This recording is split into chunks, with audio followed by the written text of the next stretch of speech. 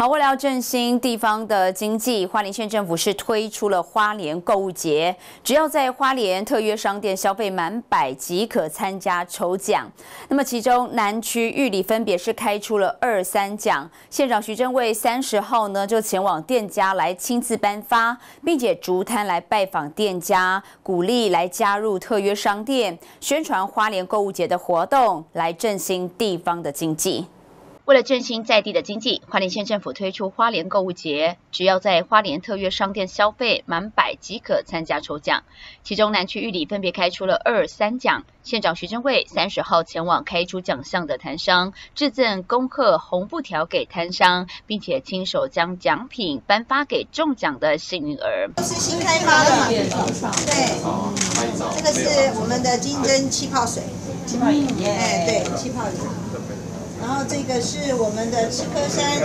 农友的绿点啤酒。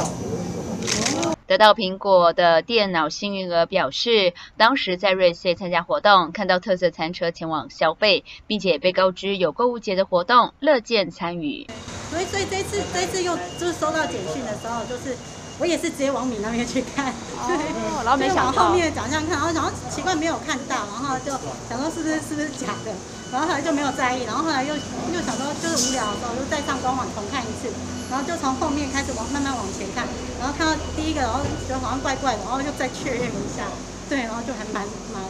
错愕的。活动到十月都可以登录，每周抽出十位的幸运儿，奖项包括热门的家电用品以及三星电子产品等大奖，总共有超过一百二十个中奖机会，多到特约店家消费来登录，一起周周抽好礼，一起来振兴花莲的经济。记者高双双玉里镇采访报道。